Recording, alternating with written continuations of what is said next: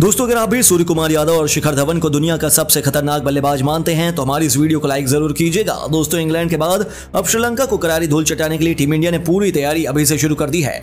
वहीं टीम के head coach Rahul Dravid ने नई प्लेइंग इलेवन बनाकर हर किसी को हैरान कर दिया है। गिल के साथ साथ मोहम्मद सिराज को टीम से बाहर का रास्ता दिखाते हुए ऐसे दो भूखे शेरों की टीम में शामिल किया, जो श्रीलंका टीम की शामत लाने के लिए तैयार है। तो आखिर राहुल द्रविड़ ने क्यों लंका के खिलाड़ी बदल दी है टीम की पूरी प्लेइंग इलेवन किस किस खिलाड़ी को दी है टीम में जगह? ये सब कुछ आपको अपनी इस वीडियो में दिखाएँगे, लेकिन उससे पहले आपको क्या लगता है, रोहित शर्मा और विराट कोहली में कौन है सबसे खतरनाक बल्लेबाज? नीचे कमेंट करके ज़रूर बताइए। दोस्तों, टीम इंडिया ने विश्व कप में अभी तक अपने सभी मुकाबले जीत कर तालिका में शीर्ष पायदान पर मौजूद है। अंतिम मुकाबला इंग्लैंड के खिलाफ लखनऊ के मैदान पर खेल धमाकेदार जीत दर्ज की और इस जीत से पूरे क्रिकेट जगत को हैरान करके रख दिया। टीम के सभी खिलाड़ी भी शानदार प्रदर्शन दिखा रहे हैं और कप्तान रोहित शर्मा अलग अंदाज में बल्लेबाजी का नज़ारा इस विश्व कप में दिखा रहे हैं। भाई मोहम्मद शमी भी अपनी कातिलाना गेंदबाजी से करोड़ों भारतीयों का दिल मोह लिया। पूरा क्रिकेट जगत अब केवल भारत के विश्व कप जीतने का बेसब्री से इंतज़ार कर रहा है, लेकिन उससे पहले अभी टीम इंडिया को कड़ी चुनौतियों का सामना करना है। आपको बता दें, टीम इंडिया का अगला मुकाबला दो नवंबर को वानखेड़े स्टेडियम, मुंबई के मैदान पर श्रीलंका के खिलाफ खेला जाने वाला है और ये मुकाबला दोनों टीमों के बीच ज़बरदस्त होने वाला है। जब दोनों टीमें आपस में टकराती हैं तो क्रिकेट फैंस को 2011 विश्व कप के फाइनल मैच की यादें ताज़ा हो जाती हैं। ठीक वही रोमांचक क्रिकेट फैंस इस मुकाबले में भी उम्मीद कर रहे हैं। दोनों टीमों की प्लेइंग इलेवन बेहद खतरनाक है और एक से बढ़कर एक धुरंधर खिलाड़ी टीम में भरे हैं। हर भारतीय फैंस इस मुकाबले को देखने के लिए बेसब्री से इंतज़ार कर रहा है। टीम इंडिया यह मुकाबला जीतने के बाद सीधा सेमीफाइनल में जगह पक्की कर लेगी। इसीलिए कप्तान रोहित शर्मा के लिए यह बहुत बड़ा मैच हो सकता है। वहीं श्रीलंका भी टीम इंडिया को कड़ी चुनौती देने की पूरी कोशिश करेगी। इसके लिए टीम के हेड कोच राहुल द्रविड़ ने टीम इंडिया की पूरी प्लेइंग इलेवन को श्रीलंका के खिलाफ मैच के लिए बदल कर रख दिया और टीम में तीन बड़े बदलाव कर दिए हैं। तो चलिए अब आपको बताते हैं क्या है द्रविड़ की पूरी प्लेइंग इलेवन किसे दिया है टीम में मौका टीम के हेड कोच राहुल द्रविड़ ने श्रीलंका के खिलाफ ओपनिंग करने के लिए कप्तान रोहित शर्मा के साथ ईशान किशन को टीम में मौका दिया। वहीं शुभमन गिल को बाहर का रास्ता दिखा दिया और गिल लगातार मैच खेलने, तबियत खराब होने की वजह से उन्हें श्रीलंका के खिलाफ मैच में आराम दिया गया है, जिसके कारण उनकी जगह पर द्रविड़ ने इंसान ईशान पर सबसे अधिक भरोसा जताकर टीम में शामिल किया है। गिल और रोहित शर्मा भी बेहद आक्रामक अंदाज में बल्लेबाजी करते हैं और इन दोनों की जोड़ी भी दुनिया भर में फ़ेमस है। हर गेंदबाजों पर ये टूटकर प्रहार करते हैं। वहीं तीसरे नंबर पर टीम के बैकबोन इनफॉर्म बल्लेबाज विराट कोहली को रखा है। विराट का बल्ला शानदार तरीके से विश्व कप में धार रहा है और वह बेहद बेहतरीन फॉर्म में चल रहे हैं। नंबर चार पर हेड कोच राहुल द्रविड़ ने श्रेयस अय्यर को रखा। इनका भी बल्ला विश्व कप में खूब बोल रहा है। इसलिए एक बार फिर से उन पर सबसे अधिक भरोसा जताया है हेड कोच राहुल द्रविड़ ने और उन्हें श्रीलंका के खिलाफ तबाही मचाने का पूरा मौका दिया है। नंबर पाँच पर राहुल द्रविड़ ने के राहुल को बल्लेबाजी करने के लिए रखा है और राहुल भी पूरे विश्व कप में बेहतरीन पारी खेल रहे हैं। वह अपने बल्ले से कभी भी तबाही मचाकर गेंदबाजों की शामत ला सकते हैं। जी हाँ दोस्तों, इसीलिए रोहित शर्मा ने उन पर सबसे अधिक भरोसा जताया है। नंबर छह पर सूर्य कुमार यादव को रखा है। आप सभी को उनकी बल्लेबाजी का अंदाज़ा होगा और जिस तरह से उन्होंने इंग्लैंड के गेंदबाजों की धज्जा उड़ाकर रखा उसे यही लग रहा है कि इनके बल्ले से श्रीलंका के गेंदबाजों को भी जमकर धुनाई होने वाली है। सूर्य कुमार यादव दुनिया के सबसे खतरनाक बल्लेबाज माने जाते हैं और उनकी बल्लेबाजी का अंदाज भी बेहद अलग है। इसीलिए रोहित ने सबसे बड़ी ज़िम्मेदारी टीम की सूर्य कुमार यादव के कंधों पर सौंपी है। वहीं ऑलराउंडर डिपार्टमेंट में हेड कोच राहुल द्रविड़ ने रविंद्र जडेजा के साथ साथ शार्दुल ठाकुर को रखा है और ये दोनों खिलाड़ी मैच के गेंद के साथ साथ बल्ले से भी ज़बरदस्त तबाही मचाते हैं और टीम इंडिया को मुश्किल घड़ी से निकालने का भी काम अच्छे तरीके से करते हैं। इसीलिए रोहित शर्मा ने इस मैच में दो ऑलराउंडर के साथ मैदान पर उतरेंगे। वहीं स्पिन डिपार्टमेंट की बात करें तो रविंद्र जडेजा के साथ साथ कुलदीप यादव भी टीम में मौजूद रहेंगे। ये दोनों अपनी फिरकी से किसी भी टीम को तबाह कर सकते हैं। इसीलिए रोहित ने इन पर सबसे अधिक भरोसा जताया है। कप्तान रोहित शर्मा ने तेज गेंदबाजी डिपार्टमेंट में मोहम्मद शमी, जसप्रीत बुमराह को ही रखा है।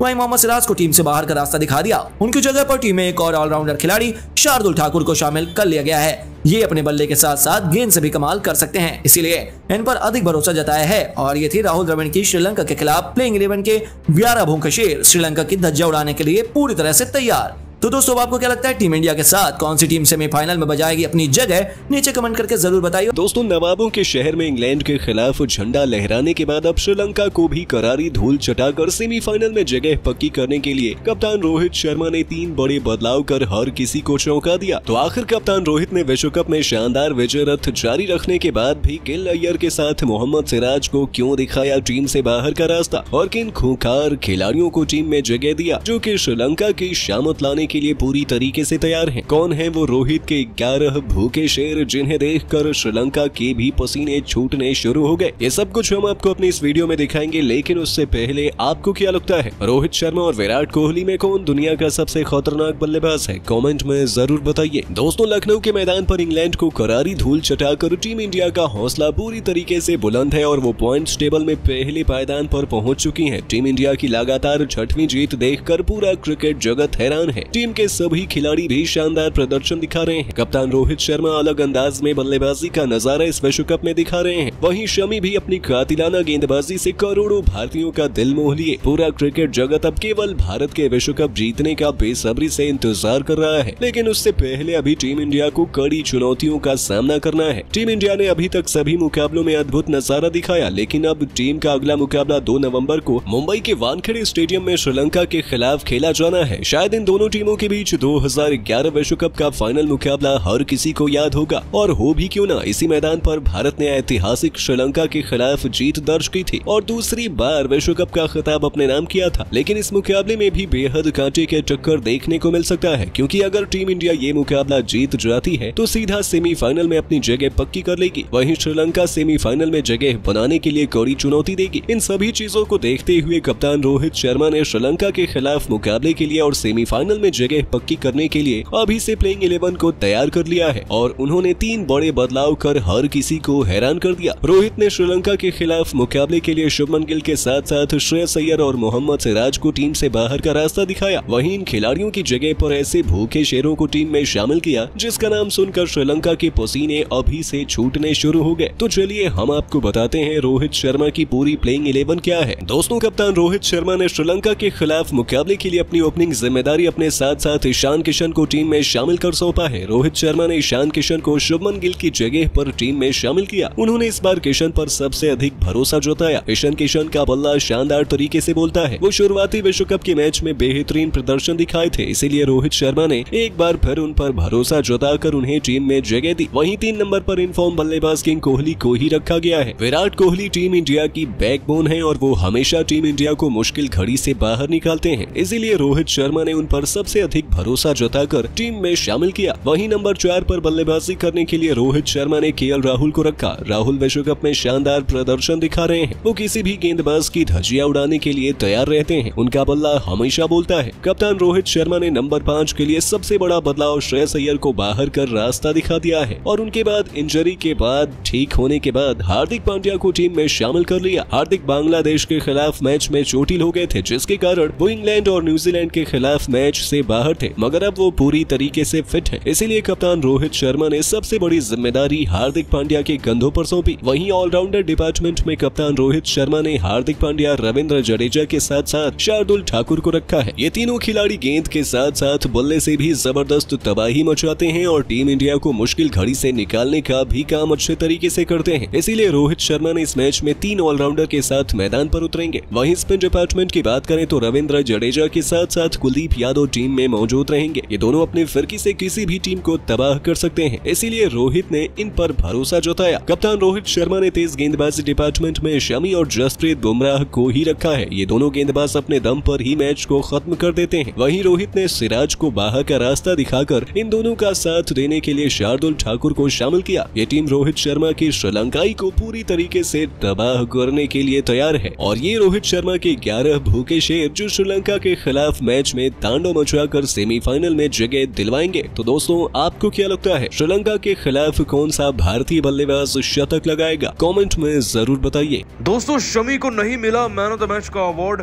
तो रोहित ने अपना अवार्ड शमी को दे दिया। और उसके बाद तो रो पड़े थे दोस्तों मोहम्मद शमी, और जाते जाते कुछ ऐसा कह गए कि करोड़ों देशवासियों को फिर से अपना फ़ैन बना गए। क्या बोले शमी रोते हुए? उनके बयान का पूरा वीडियो आपको दिखाएँगे, लेकिन उससे पहले आप सभी को क्या लगता है? शमी और शाहिन शाह अफरीदी में कौन एक बेहतर गेंदबाज है, नीचे कमेंट करके ज़रूर बताइएगा। दोस्तों वर्ल्ड कप 2023 में एक और जंग जीतने के लिए आज भारत का सामना इंग्लैंड से हुआ। वैसे तो भारतीय क्रिकेट टीम जीत के घोड़े पर सवार है, लेकिन दोस्तों, आज मामला कुछ और था। इंग्लैंड की टीम एक चोटिल शेर बनकर दहाड़ेगी, ऐसा सब सोच रहे थे, और शुरुआत भी देखिए उनकी वैसी थी। टॉस भी वो जीते, शुरुआत भी उनके नाम रही क्योंकि हमारे खिलाड़ी शुभमन गिल नौ रन पर आउट हुए, कोहली ज़ीरो पर तो अय्यर चार रन पर। लेकिन अकेले कप्तान काफ़ी थे। सतासी रन बनाकर गए 101 गेंदों में तो वही राहुल के उनतालीस और सूर्य कुमार यादव के उनचास रन थे। देखिए, भारतीय क्रिकेट टीम भले ही दो सौ उनतीस तक पहुँची, लेकिन इसे डिफेंड कैसे करना है एक धीमे विकेट पर, वो कोई भारतीय गेंदबाज से ही सीखे, या फिर यूँ कह लीजिए कि मोहम्मद शमी से सीखे। दोस्तों, आपको बता दें कि हमारे तेज गेंदबाजों ने ना आज इंग्लैंड की टीम के खमंड को तो तोड़ा ही, साथ ही साथ उनके इस भ्रम को भी तोड़ दिया कि वो इस बार के वर्ल्ड कप की रेस में अभी भी हैं। जी हाँ दोस्तों, आपको बता दें कि जैसे ही हमारी गेंदबाजी शुरू हुई ना, और इंग्लैंड की टीम का चेज, वैसे ही इंग्लैंड की टीम के खिलाड़ी केवल मैदान में आ रहे थे और बाहर जा रहे थे। अब इसका मेन रीजन बने थे सबसे पहले जसप्रीत बुमराह, जिन्होंने पाँचवें ओवर में आकर डेविड मलान को 16 पर क्लीन बोल्ड किया।